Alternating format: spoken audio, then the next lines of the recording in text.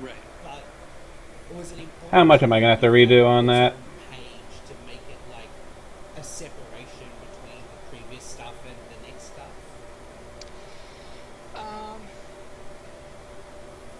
why did I do that? Um, it, it was more.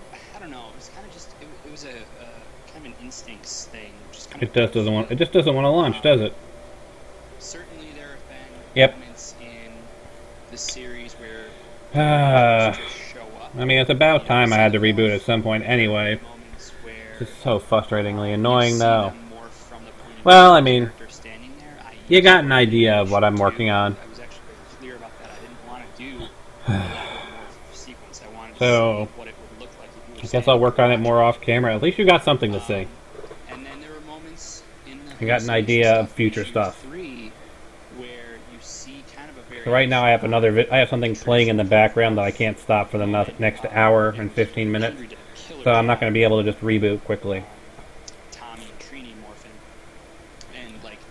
Well, um, Maybe I'll be back on later. Like I said, it's going to be weird. Hopefully, I think next time when we get back on, I'll just be doing adventuring. But I hope you got something interesting out of this. At least you got some ideas on how to make an assembly line.